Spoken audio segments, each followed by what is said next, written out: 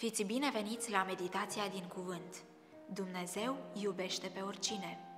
Toate neamurile pământului vor fi binecuvântate în sămânța ta, pentru că ai ascultat de porunca mea.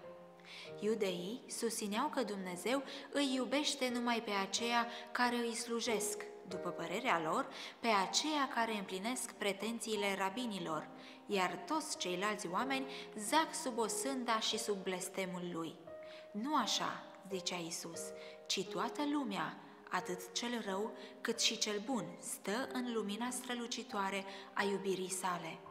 Tatăl nostru cel ceresc a avut milă de noi chiar atunci când eram lipsiți și aveam un caracter neplăcut, fiind vrednici să fim urâți și urându-ne unii pe alții.